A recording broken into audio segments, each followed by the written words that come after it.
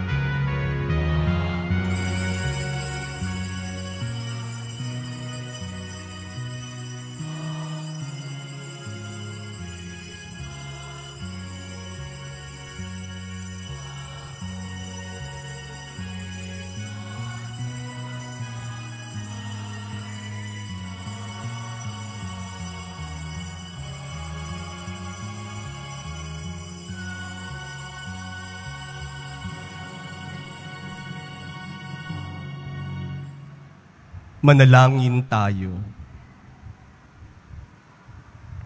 Ama naming makapangyarihan, nilob mong akuin ng iyong anak ang krus at kamatayan upang ang sangkatauhay matubos at mabuhay. Ang pag-ako namin sa krus at kamatayan dito sa lupa ayon sa diwa ng pagsunod sa iyong loob na ginanap ng iyong anak ay magpagindapat nawang aming kamtin ang lubos na katubusan at pagkabuhay sa iyong piling sa pamamagitan ni Heso Kristo kasama ng Espiritu Santo magpasawalang hanggan. Amen. Magsiupo ang lahat. Pagbasa mula sa aklat ng mga bilang. Noong mga araw na iyon, nainip ang mga tao sa pasikot-sikot na paglalakbay. Nagreklamo sila kay Moises. Inialis mo ba kami sa Ehipto para patayin sa ilang na ito? Wala kaming makain ni mainom Sawa na kami sa walang kwentang pagkain ito. Dahil dito, sila'y pinadalhan ng Panginoon na makamandag na ahas at sino mang matuka nito ay namamatay. Kaya lumapit sila kay Moises. Sinabi nila, Nagkasala kami sa Panginoon at sa iyo Idalangin mo sa kanyang paalisin ang mga ahas na ito. Dumalangin nga si Moses at ganito ang sagot sa kanya ng Panginoon. Gumawa ka ng isang ahas na tanso. Ilagay mo iyon sa dulo ng isang tikin at sino mang matuklaw ng ahas na tumingin doon ay hindi mamamatay. Gayon nga ang ginawa ni Moises. Mula noon, lahat ng matuklaw ng ahas, ngunit tumingin sa ahas na tanso ay hindi namamatay. Ang salita ng Diyos. Salamat sa Diyos. Hindi nila malilimot ang dakilang gawa ng Diyos. Hindi nila malilimot ang dakilang gawa ng Diyos.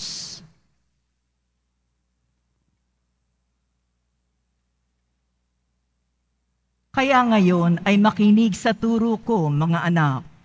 Inyong dinggit o linigin, salita kong binibigkas. Itong aking sasabihin ay bagay na talinhaga. Nangyari pa nung una, kaya ito'y mahiwaga. Hindi nila malilimot ang dakilang gawa ng Diyos. Datapwat noong sila'y lipunin na ng Diyos, nagsisi ang karamihan sa kanya'y nagbalik loob. Noon nila nagunitang ang sanggalang nila'y ang Diyos, ang kataas-taasang Diyos ay kanilang manunubos. Hindi nila malilimot ang dakilang gawa ng Diyos. Kaya't siya ay pinuri ng papuring hindi tapat. Pagkat siya ay pakunwarit, balat kayong matatawag. Sa kanilang mga puso, nagahari kataksilan, hindi sila nagtatapat sa ganawa nilang tipan.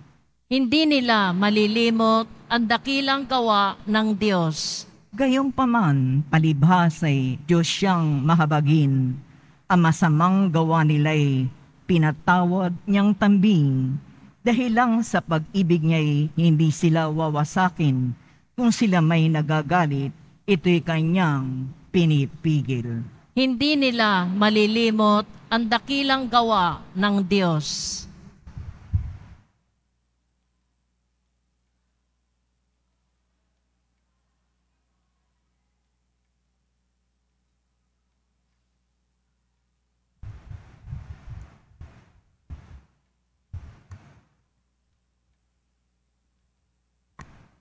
Pagbasa mula sa sulat ni Apostol San Pablo sa mga tiga-Pilipos Si Kristo Jesus, bagamat siya'y Diyos, ay hindi nagpilit na manatiling kapantay ng Diyos. Bagkos,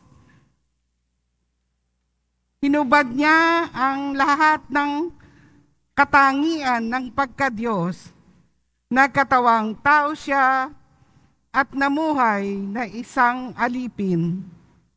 Nang maging tao siya'y nagpaka, baba, at naging masunurin hanggang kamatayan. Oo, hanggang kamatayan sa krus. Kaya naman, siya itinampok ng Diyos at binigyan ng pangalawang higit sa lahat ng pangalan. Ano pa ang lahat ng ninalang na nasa langit, nasa lupa, nasa ilalim ng lupa, ay maninikluhod at sasamba sa Kanya at ipapahayag ang lahat ng ito na si Heso Kristo ang Panginoon na ikararangal ng Diyos Ama. Ang salita ng Diyos. Salamat sa Diyos. Magsitayo ang lahat.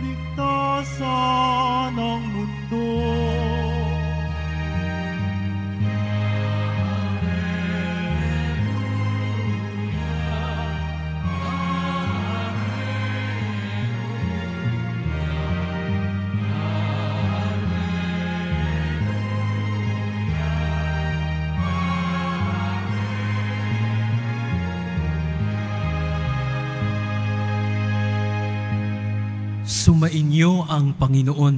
At sumaiyo rin. Ang mabuting balita ng Panginoon ayon kay San Juan. Papuri sa iyo, Panginoon. Noong panahong iyon, sinabi ni Jesus kay Nicodemo, Walang umakyat sa langit, kundi ang bumaba mula sa langit, ang anak ng tao.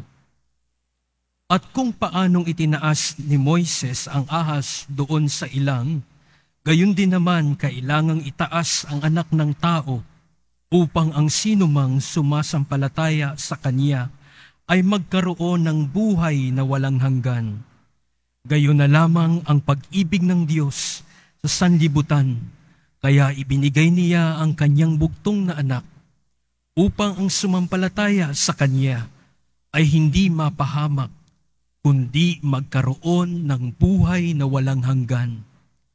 Sapagkat sinugo ng Diyos ang kanyang anak, hindi upang hatulang maparusahan ang sanlibutan, kundi upang iligtas ito sa pamamagitan niya. Ang mabuting balita ng Panginoon. Pinupuri ka namin, Panginoong Heso Kristo. Magsiupo ang lahat.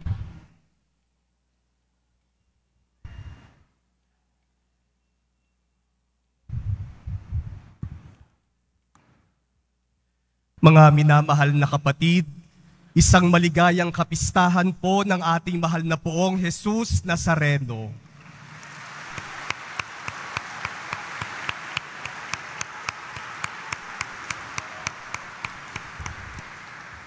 At sa ngalan po ng ating minamahal na arsobispo, ang kanyang kabunyian, si Kardinal Jose Advincula, nais ko po batiin at i-congratulate si Father June Sescon, ang mga pari, ang buong komunidad ng Quiapo Church sa isang matagumpay na pagdiriwang ng fiesta ng Nazareno ngayong 2024. Palakpakan po natin sila.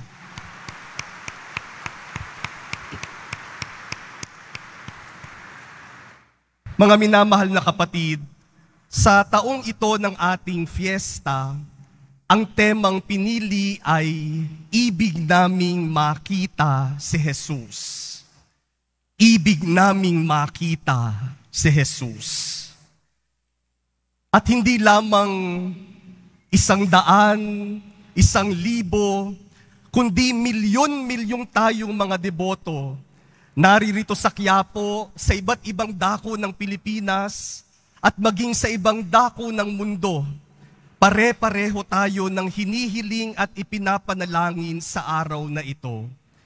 Ibig naming makita si Jesus. Kapag may isang bagay na gusto nating makita at maraming tao ang gustong makakita sa parehong bagay, isang paraan para makita ng lahat ang nag-iisang bagay na yon ay ang itaas yung bagay na yon para makita ng lahat. Kasi kung mananatili lamang nakapantay natin, ang makakakita lang ay yung mga nasa malapit.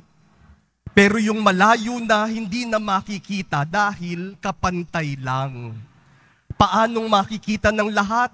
Itaas mo. At kapag nakataas yan, kahit yung nasa malayo, kitang-kita pa rin. Kaya nga dito sa dambana ng poong Jesus Nazareno sa Quiapo, nakataas ang imahen ng ating poong Jesus Nazareno para makita nating lahat. Ibig naming makita si Jesus. Kaya sabi ng ating mga pagbasa sa fiesta natin ngayon, kung ibig nating makita si Jesus, edi itaas natin si Jesus. Sa ating unang pagbasa, narinig natin kung paanong inutusan ng Diyos si Moises na gumawa ng ahas na tanso at itaas ito, ilagay sa isang tikin at itaas para sino mang matuklaw ng ahas at tumingin doon sa ahas na tanso ay magkakaroon ng kagalingan. Itinaas ang ahas na tanso upang pagmulan ng kagalingan. At sa Ebanghelyo, sinabi sa atin, si Jesus kailangang itaas upang lahat tayo makakita sa Kanya at lahat ng makakakita sa Kanya at sumampalataya ay magkakaroon ng buhay na walang hanggan.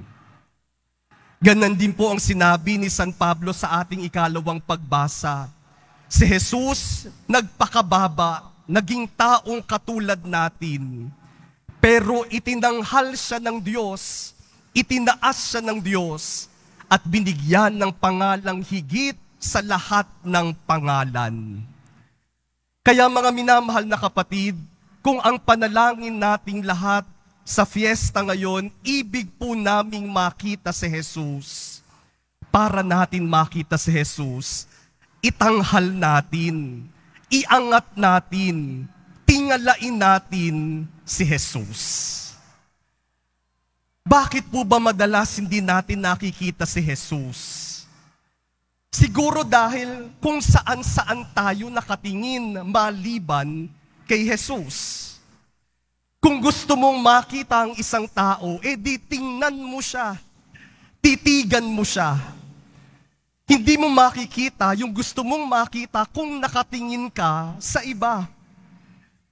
Kung gusto nating makita si Jesus, titigan, tingnan, itaas at tingalain natin si Jesus. Para makita siya ng lahat, para magbigay siya sa atin ng kagalingan, biyaya, at buhay. Itanghal si Jesus. Siguro isang dahilan din kung bakit hindi natin nakikita si Jesus kasi may mga humaharang sa Kanya.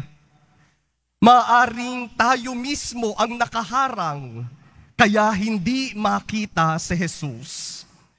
Kung palaging yung sarili natin ang inaangat natin, kapag palagi tayong nagbubuhat ng bangko, nagmamagaling at nagyayabang, harang yan para makita si Jesus.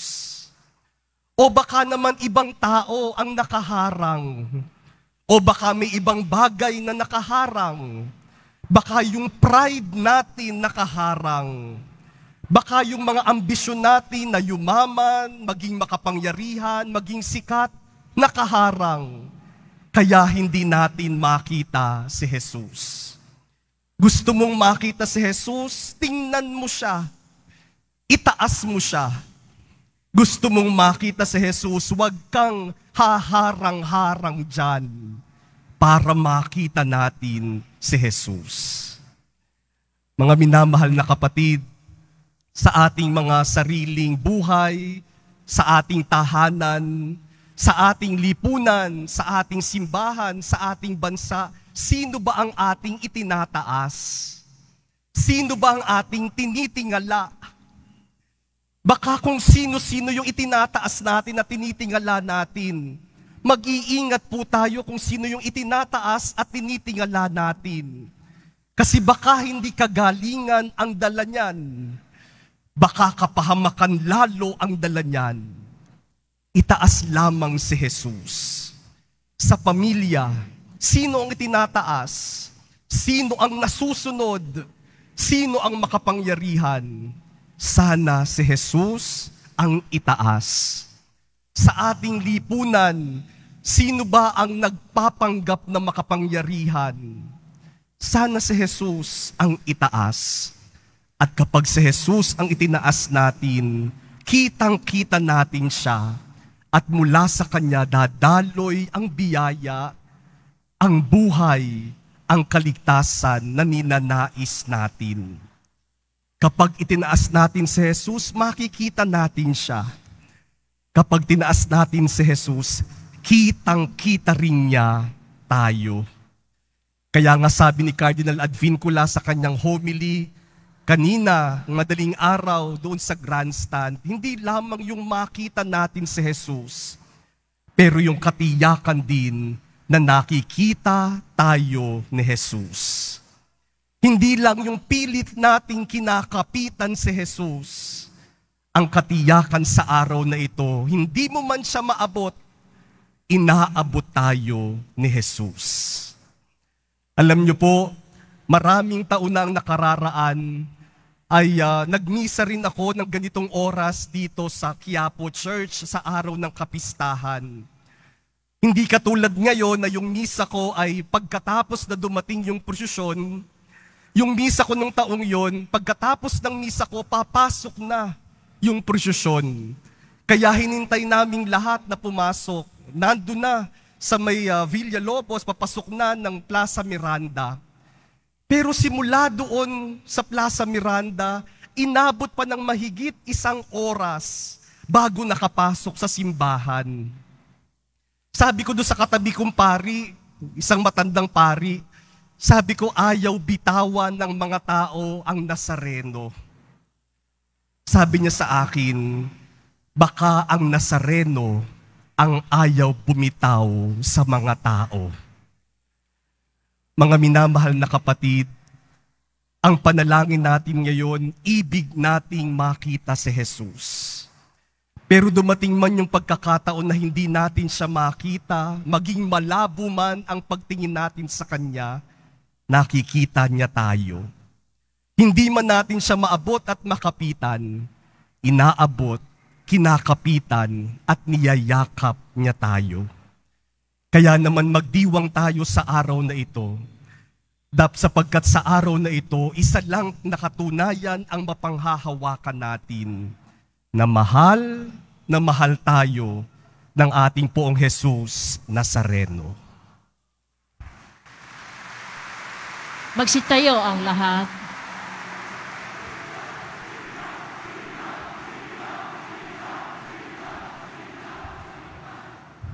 Sumasampalataya ako.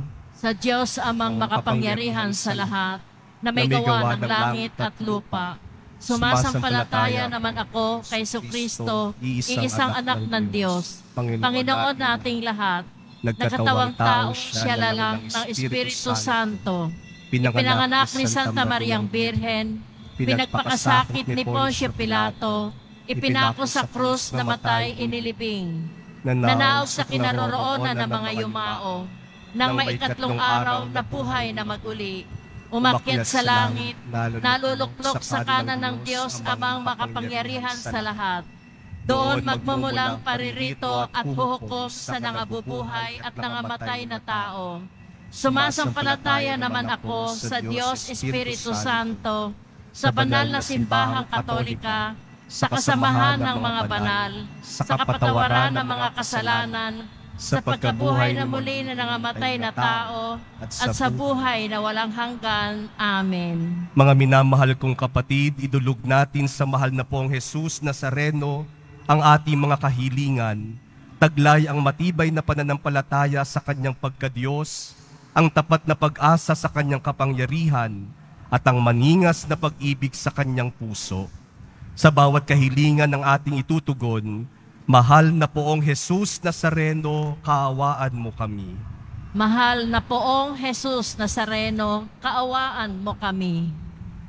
Upang ang Eukaristya na ating tinatanggap sa komunyon at tinihahandog sa misa bilang alaala ng mga hirap na mananakop ay magdulot sa atin ng wagas na pagmamahal sa Diyos at sa kapwa. Manalangin tayo. Mahal na poong Jesus Nazareno, kaawaan mo kami. Upang ang panalangin ni Jesus Nazareno sa halamanan ng Getsemani, na dito'y pinawisan siya ng dugo, ay magaksik sa atin ng pagkahilig sa panalangin na siyang mabisang lunas sa lahat ng karamdaman ng tao Manalangin tayo. Mahal na poong Jesus Nazareno, kaawaan mo kami. Upang ang kanyang koronang tinik, damit na purpura, at krus ay magpaalaala sa atin na ang kanyang mga aral at simulain bilang hari ng sanlibutan ay dapat maghari sa ating isipan angkan at lipunan. Manalangin tayo. Mahal na poong Jesus Nazareno, kaawaan mo kami. Upang sa bisa ng kanyang pagpapasa ng krus sa mga lansangan sa Jerusalem, ay matuto tayong makiramay at makihati sa mga kahirapan at iisin ng kapwa Manalangin tayo. Mahal na poong Jesus Nazareno, kaawaan mo kami. Upang tulungan tayo ng mahal na Birhen, ina ng hapis, na maging tunay na larawan ng kanyang anak sa isip, wika at gawa. Nang sa gayon ay makamit ang ating kahilingan sa poong Jesus Nazareno Manalangin tayo. Mahal na poong Jesus Nazareno, kaawaan mo kami. Tahimik nating ilahad sa ating poong Jesus Nazareno ang ating mga sariling kahilingan.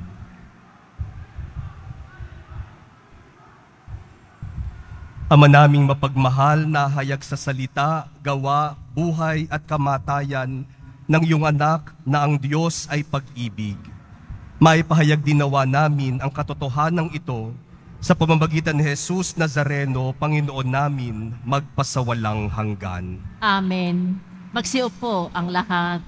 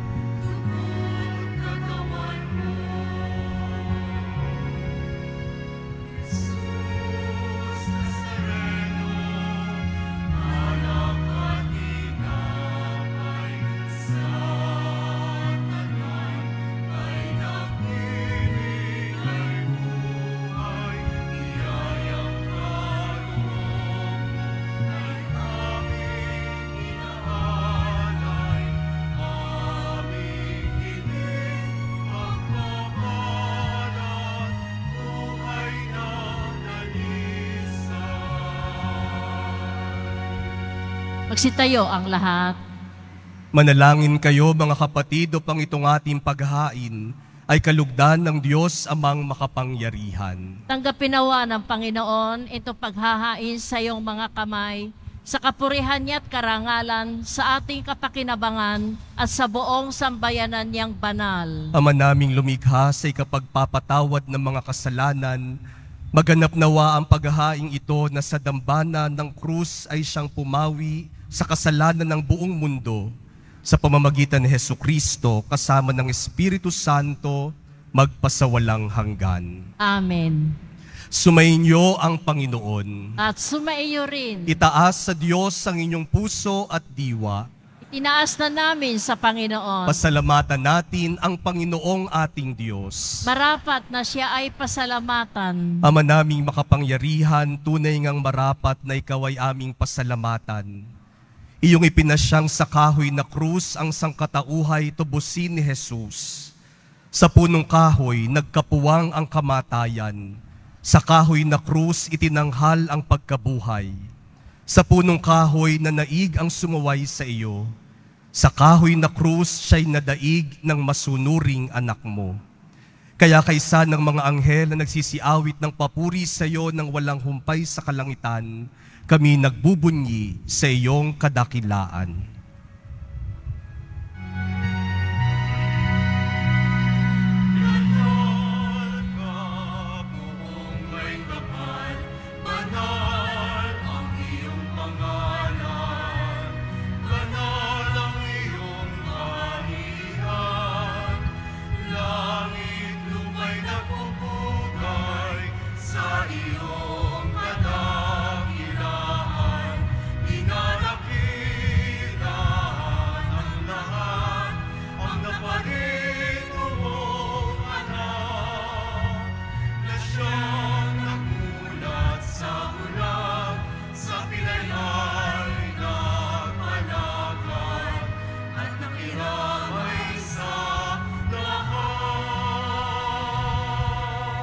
Magsiluhod ang lahat.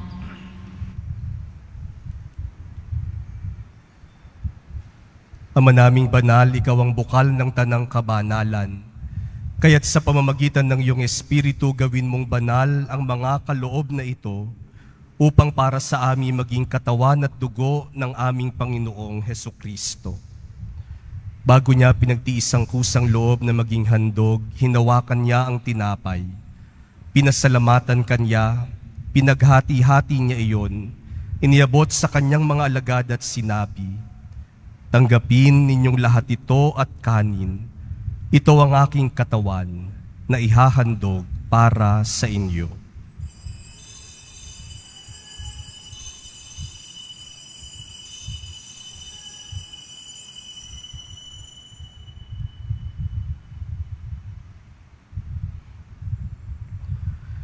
Gayun din naman nung matapos ang hapunan, hinawakan niya ang kalis.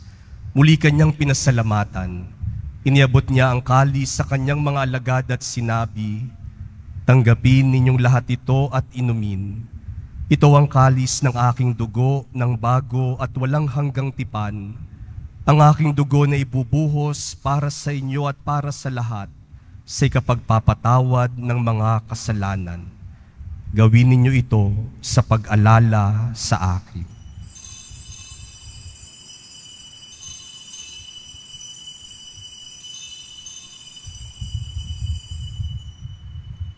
Magsitayo ang lahat. Ipagbunyi natin ang misteryo ng pananampalataya. Si Kristo'y namatay, si Kristo'y nabuhay, si Kristo'y babalik sa wakas ng panahon. Ama, ginagawa namin ngayon ng pag-alala sa pagkamatay at muling pagkabuhay ng iyong anak. Kaya tiniaalay namin sa iyong tinapay na nagbibigay buhay at ang kalis na nagkakaloob ng kaligtasan. Kami nagpapasalamat dahil kami iyong minarapat na tumayo sa harap mo para maglingkod sa iyo.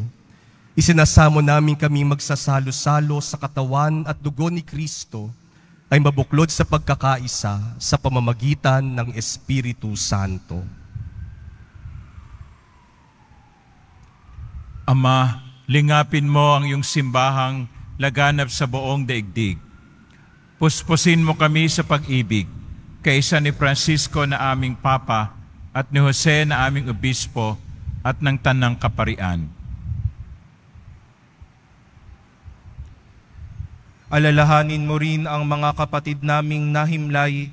Nang may pag-asang sila ay muling mabubuhay, gayon din ang lahat ng mga pumanaw. Kaawaan mo sila at patuloyin sa iyong kaliwanagan. Kaawaan mo at pagindapatin kaming lahat na makasalo sa iyong buhay na walang wakas, kaisa ng mahal na Birheng Maria na ina ng Diyos, ng kabiyak ng puso niyang si San Jose, kaisa ng mga apostol at ng lahat ng mga banal na namuhay dito sa daigdig ng kalugod-lugod sa iyo.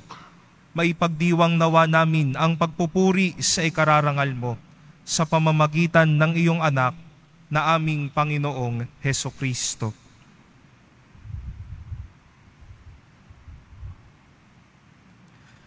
Sa pamamagitan ni Kristo, kasama niya at sa Kanya, ang lahat ng parangal at papuri ay sa iyo, Diyos samang makapangyarihan, kasama ng Espiritu Santo, magpasawalang hanggan.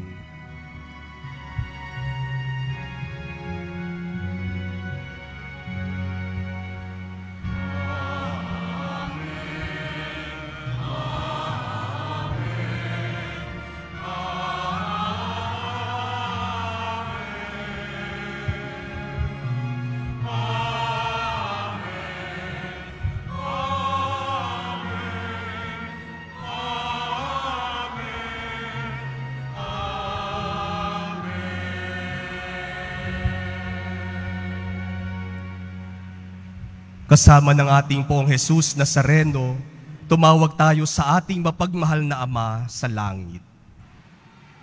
Ama namin, sumasalangit ka, sambahin ang ngalan mo, mapasa amin ang kaharian mo, sundin ang loob mo dito sa lupa para ng sa langit.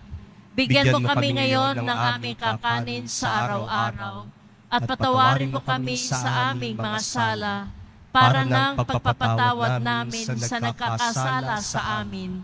At huwag mo kaming ipahintulot sa tukso at iadya mo kami sa lahat ng masama. Iadya mo kami sa lahat ng masama, Panginoon. Pagkaloban mo kami ng kapayapaan araw-araw. Iligtas mo kami sa maraming tukso at kasalanan.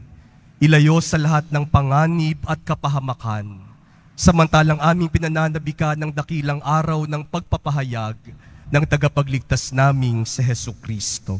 Sapagkat iyo ang kaharian at ang kapangyarihan at ang kapurihan magpakailanman. Amen. Panginoong Heso Kristo, sinabi mo sa iyong mga apostol, Kapayapaan ang iniiwan ko sa inyo, ang aking kapayapaan ang ibinibigay ko sa inyo. Tunghayan mo ang aming pananampalataya at huwag ang aming pagkakasala Pagkalooban mo kami ng kapayapaan at pagkakaisa ayon sa iyong kalooban, kasama ng Espiritu Santo magpasawalang hanggan. Amen. Ang kapayapaan ng Panginoon ay laging sumainyo. At sumaiyo rin. Magbigayan kayo ng kapayapaan sa isa't isa.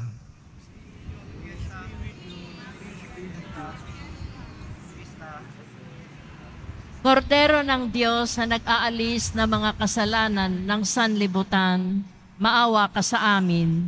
Kordero ng Diyos na nag-aalis ng mga kasalanan ng sanlibutan, maawa ka sa amin. Kordero ng Diyos na nag-aalis ng mga kasalanan ng sanlibutan, ipagkaloob mo sa amin ang kapayapaan. Magsiluhod ang lahat. Narito sa Jesus ang ating poong Nazareno siya ang kordero ng Diyos na nag-aalis ng mga kasalanan ng sanlibutan, napakapalad nating tatanggap sa Kanya. Panginoon, Panginoon hindi ako karapat-dapat na magpatuloy sa iyo, ngunit sa isang salita mo lamang ay gagaling na ako.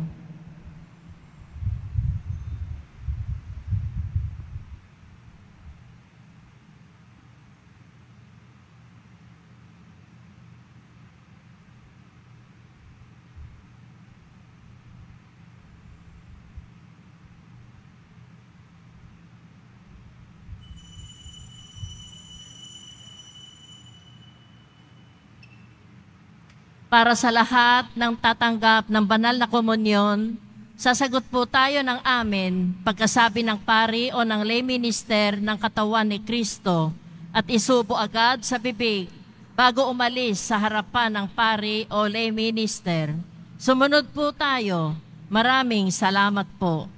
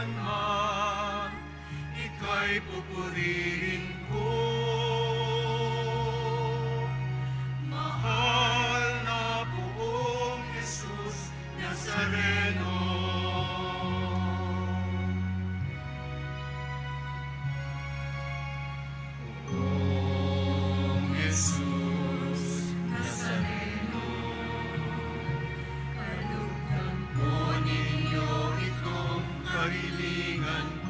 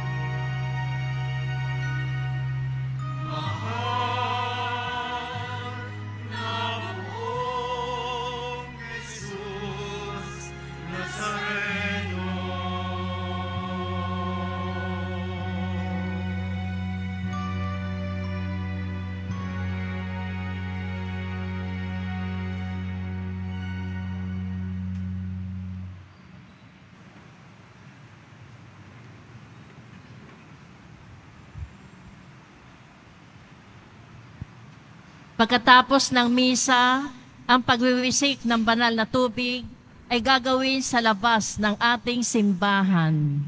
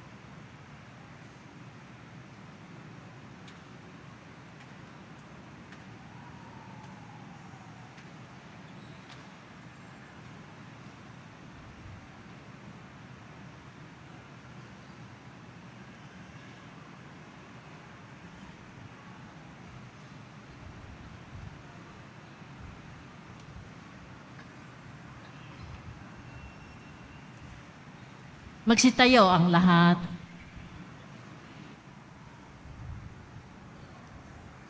Manalangin tayo. Panginoong Heso Kristo, kaming nagsalo-salo sa banal na pakikinabang ay nakikiusap sa iyo ang mga nasagip ng kahoy na krus na nagbibigay buhay ay iyong ihatid sa pagkabuhay sa kaluwalhatian sapagkat ikaw ang Panginoon magpasawalang hanggan. Amen. Sumainyo ang Panginoon. At sumaiyo rin. Yumuko kayo at hingin ng pagpapala ng Diyos. Mahal na pong Jesus Nazareno, inihayag mo sa pamamagitan ng krus ang walang maliw na pag-ibig ng Diyos sa sangkatauhan. Pakinggan mo ang kahilingan ng iyong angkan na nagsusumamo sa iyo. Makamtanawa nila ang iyong katugunan at tanggapin ang kasagutan na may utang na loob na tinatanaw. Sa pamamagitan ng bendisyon na ito, naway maalaala nila ang mga pangako nila noon sa binyag, na ikaw ay kanilang iibigin at paglilingkuran bilang Panginoon magpasawalang hanggan. Amen. At pagpalain kayo ng makapangyarihang Diyos, Ama, Anak, at Espiritu Santo, Amen. Humayo kayong taglayang pag-ibig ng Poong Jesus Nazareno. Salamat sa Diyos. Viva Poong Jesus Nazareno! Viva! Viva Poong Jesus Nazareno! Viva! Viva Poong Jesus Nazareno! Viva! Maligayang kapistahan po sa inyong lahat.